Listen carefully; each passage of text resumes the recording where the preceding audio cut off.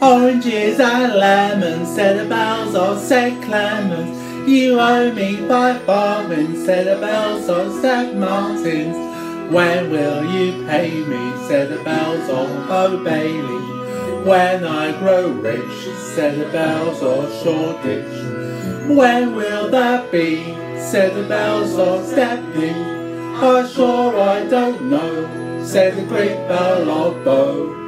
Here comes a candle to light you to bed, and here comes a chopper to chop off your head.